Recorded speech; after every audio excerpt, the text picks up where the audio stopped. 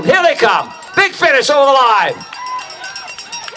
110, 111. Great finish there. to Team Calisto.